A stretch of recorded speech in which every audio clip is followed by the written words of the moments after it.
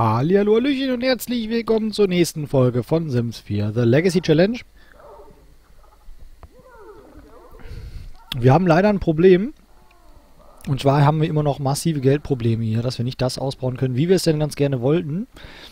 Und ja, von deswegen müssen wir mal gucken, dass wir das irgendwie gedeichselt kriegen. Können wir nicht die Ela hier irgendwie auf den Strich schicken oder so? Das wäre doch mal was.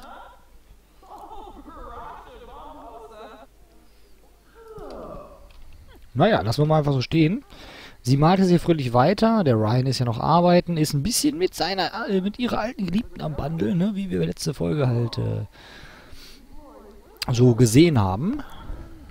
Beziehungsweise erlebt haben. Das war ja, das war ja ein Feuerwerk der Gefühle, muss man sagen. Also, da kriege ich ja jetzt noch Gänsehaut, wenn ich daran denke.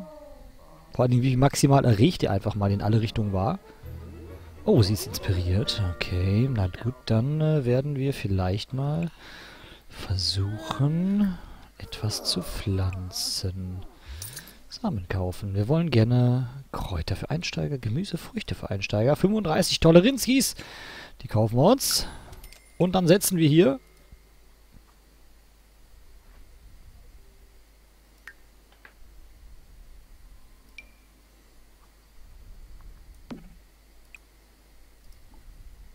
Kannst du das jetzt?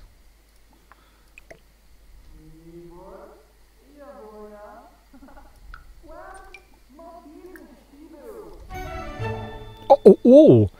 Na, da haben wir ja Früchtchen drin, hör mal. Na, machen wir doch mal die Banane.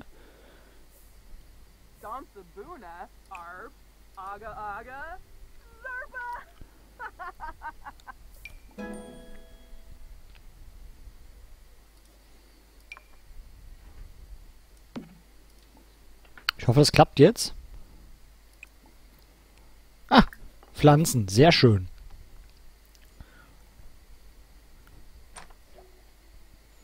Der Geburtstag von Zoenat. Uh -uh. Ah, das sieht mir aus wie... Na dann, bewässern.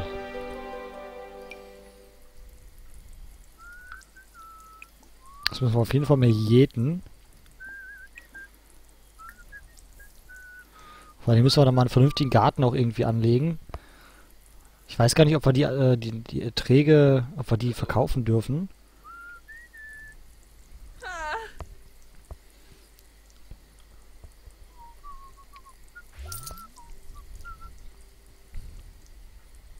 Außerdem hat er großartige Arbeit geleistet. Na, hör mal, das ist ja wundervoll. Dann äh, mal mal hier ein neues Gemälde. Und zwar ein klassisches, großes Gemälde, bitte.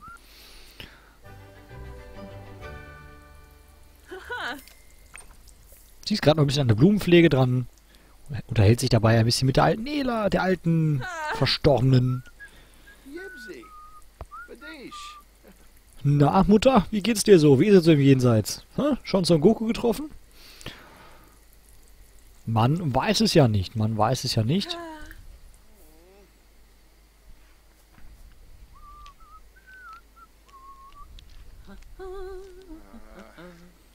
Da muss ich jetzt gleich auf jeden Fall mal was essen, sobald sie hier fertig ist. Shirsha. Wenn die Kleine jetzt nicht gerade an den Teller rangehen würde.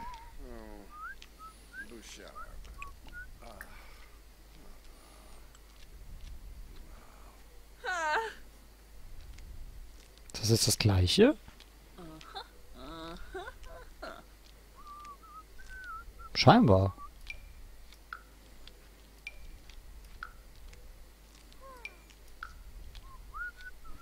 Tja, hätten wir sogar nicht kaufen brauchen.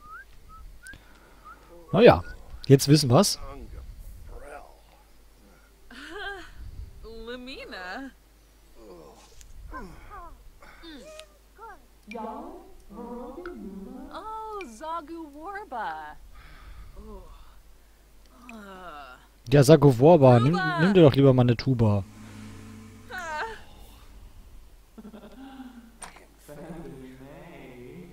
Ich find's witzig, dass man die Stimme von ihr immer noch so ein bisschen erkennen kann.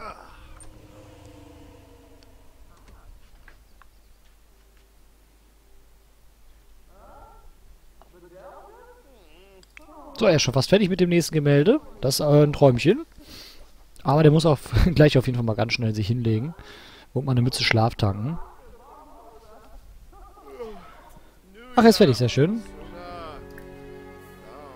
Sehr unwohl. Na komm, dann arbeiten wir dich mal ab hier, Kollege.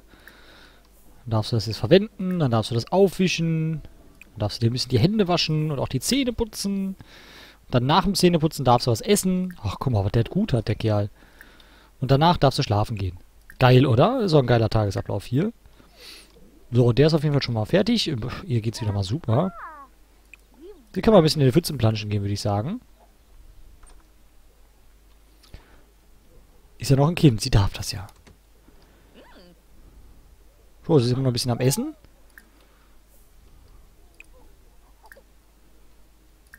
So. Die volle Palette. Okay, sie ist schon fertig mit Planschen. Dann äh, plansch hier auch noch mal ein bisschen. Plansch mal die Pfütze weg. Hervorragend.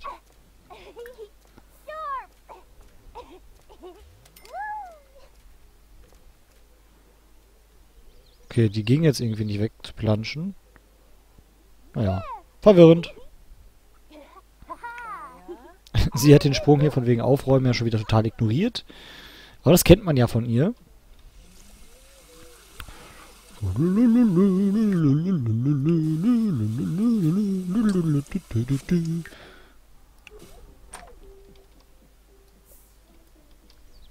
bald sind schon wieder die Rechnungen fällig, ey. Da graut's mir jetzt schon wieder vor.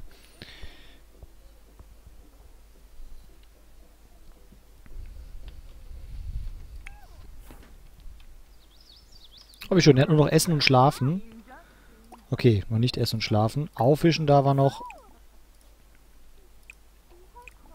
Aufräumen, da war noch. Und dann darf er ins Bett.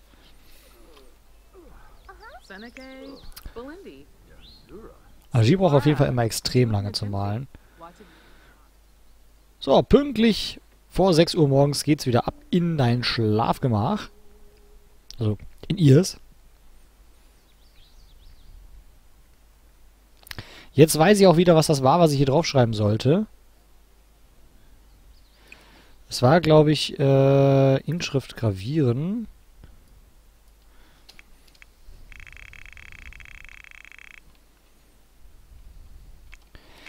Für Ela eine fürsorgliche, aber nicht immer treue Ehefrau. Ich glaube, das war's. Zumindest vom groben Wortlaut her war das so.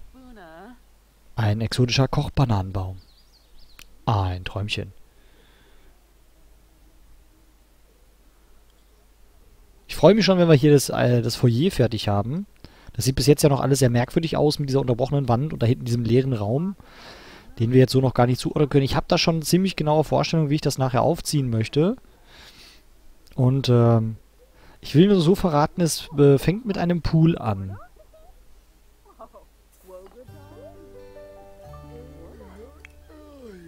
Nein, Ryan, nicht den...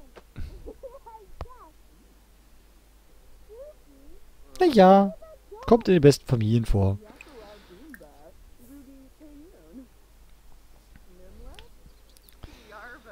Energieversagen, klingt gut.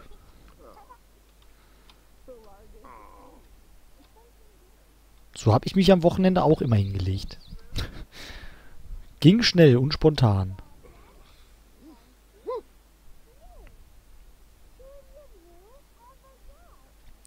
Ich hoffe, nehmt ihr das auch alles mit. Na, sehr schön. Immerhin.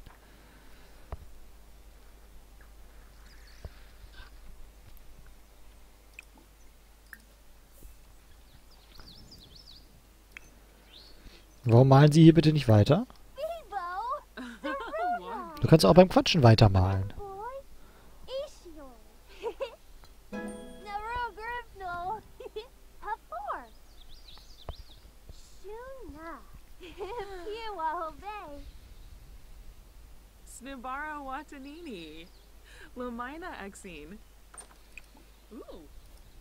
Irgendwie sieht das ziemlich schwarz aus hier. Kann mir nicht helfen. So, und er darf endlich ins Bettchen. Das ist schön. Er was? Hier äh, jemand einen verrückten Plan vorschlagen. Okay. Wäre auch mal eine Option.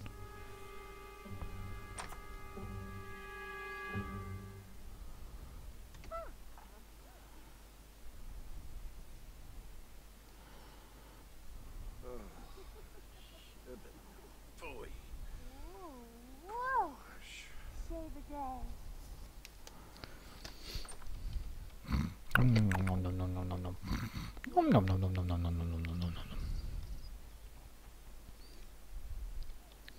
So, ihn lassen wir schlafen, sie lassen wir malen und sie lassen wir... Keine Ahnung, es ist Sonntag. Schach spielen. Ja, spielt Schachkind. Das ist gut. Habe ich äh, am Wochenende auch gemacht. Habe ich eiskalt gewonnen. Hat mich selber gewundert. Naja.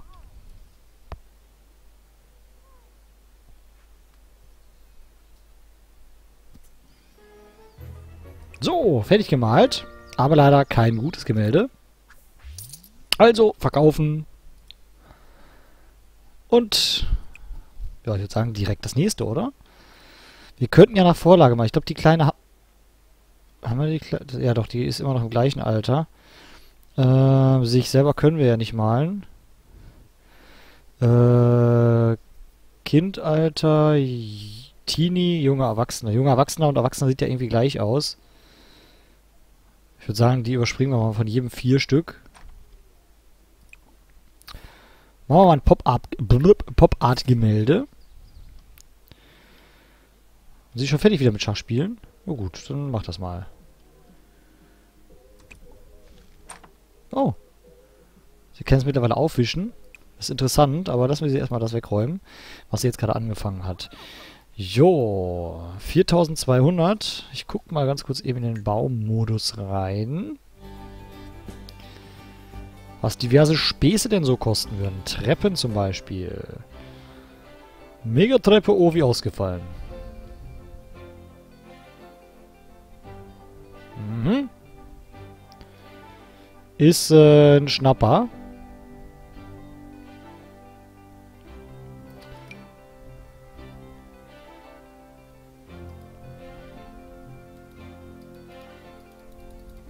Ich möchte das gerne drehen. Wieso kann ich das nicht drehen?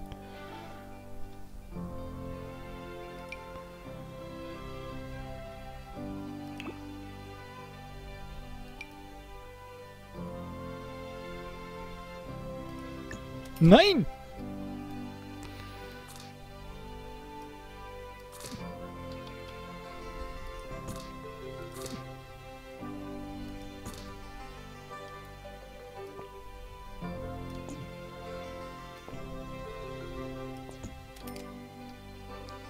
Können wir das bitte wieder rückgängig machen? Irgendwie erscheint mir das doch ein bisschen sehr teuer zu sein. Stabile Stufe im Backstein. Unscheinbares Treppenhaus. Irgendwelche Holzstufen. Begins. Ich glaube, das hier ist tatsächlich sowas, was ich gerne haben möchte. Das sind wir fast beim gleichen Preis irgendwie. Das kommt dann bei solchen Treppen irgendwie alles relativ... Dann kommen wir auch genau das teuerste.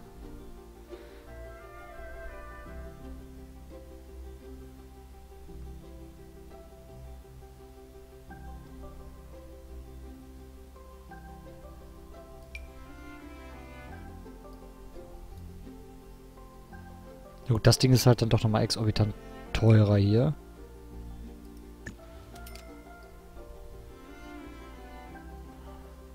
Oh, wobei, die ist schön.